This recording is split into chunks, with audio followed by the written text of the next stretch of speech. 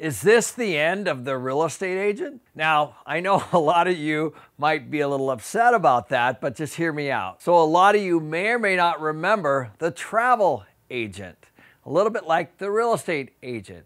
So, back in the day, we used to use travel agents. Now, of course, you guys might think I'm crazy because you can go on any of the airlines or any of the hotels and just book online.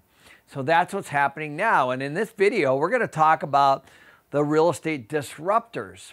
So right now, there's a new disruptor that has entered the real estate market. Today, we're going to look at a fairly recent arrival, the iBuyer. iBuyer is a real estate company that will buy your home, make some cosmetic repairs, and then sell it. Opendoor, OfferPad, and Zillow are just a few of the iBuyers who are changing the way home buying and selling works. Right now, iBuyers have just gotten their foot in the door, but it could be the tip of the iceberg. Be sure to stick around to the end when I get into the huge gamble that iBuyers are making right now. As always, I'll provide show notes for this video in the link below and be sure to like, subscribe, and sign up for notification so you don't ever miss our future videos or live streams. Okay, so iBuyers are a pretty new phenomenon and that has been building in popularity. Opendoor was the first company to start iBuying in 2013 when it launched itself as a place where homeowners could sell their homes without hiring a listing agent. And that's what I'm talking about. It also allowed sellers to sidestep the whole process of open houses and negotiating with potential buyers. Sellers could just accept Opendoor's offer and then start getting ready to move. More recently, other companies like Zillow, Offer, Knock, and OfferPad have entered those arenas. How it works is that a seller will go to an iBuyer's website enter their address, and fill out a questionnaire about their home. After that, they receive an offer within 24 hours, which is, of course, based mainly on neighborhood comp. If the seller likes the offer, the next step is that the iBuyer sends an inspector to go over to the property.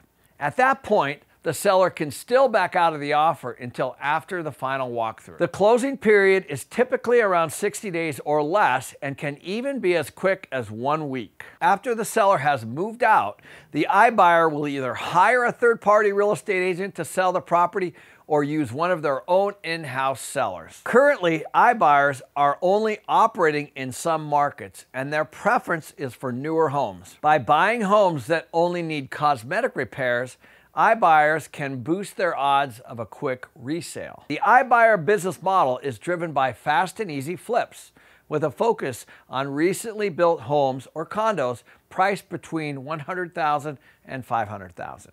Before the pandemic, iBuyers were gaining traction. During one three-month period in 2019, iBuyer snapped up nearly 7% of all homes in the Raleigh-Durham region of North Carolina and more than 5% of all transaction in Phoenix. They have mainly focused on markets with a lot of new construction where home prices have climbed in recent years. This map that I'm showing you now shows us where iBuyers are operating. While these home prices are from a couple years ago, that last column shows us that iBuyers have been honing in on markets that are still affordable but are growing fast.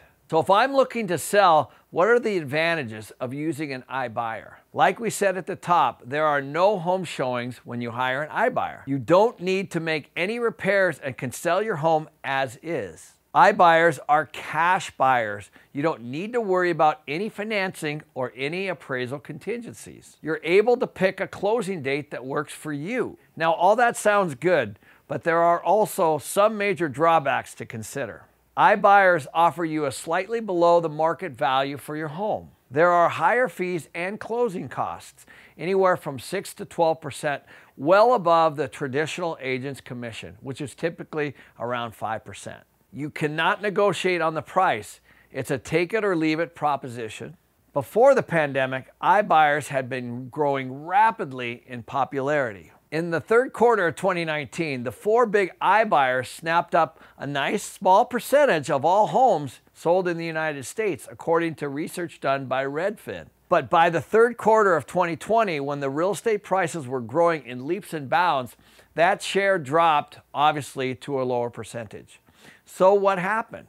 Very likely, Sellers realized that the convenience of iBuyers meant that they had to sit out on the bidding wars that were happening all around them. When you work with an iBuyer, you get one offer and that's that. In the slower paced housing market of 2019, sellers were willing to accept less for certainty of a quick sale. Now, though, many homeowners want the multiple offers that you get in a traditional sale iBuyers still offer the advantage of paying homeowners all cash for their house. But in a seller's market like we have right now, that may be the only major enticement iBuyers can offer. Despite the dip in popularity of the iBuyers, I would not dismiss them as a flash in the pan.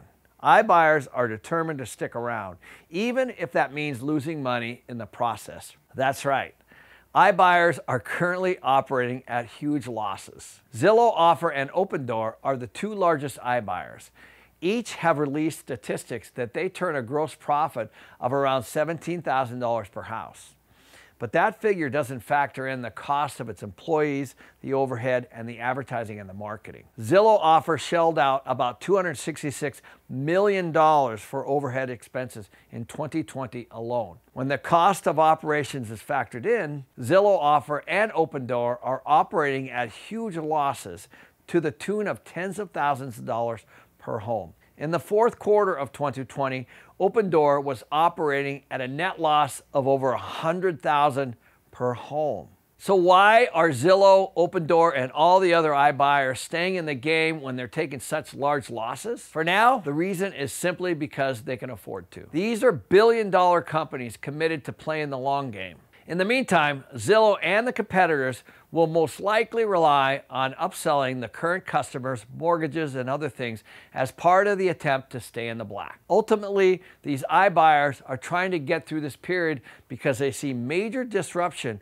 on the other side as we've been talking about in all of my videos. They are also betting on being able to do enough volume business to get them back into the black. Now, coming full circle back, is this the end of the real estate agent? The CEO of NARC has said that by 2029, he projects that half of all real estate sales will be handled by iBuyers. I don't know how likely that is, but I certainly wouldn't rule it out either. Thanks for listening. Until next time.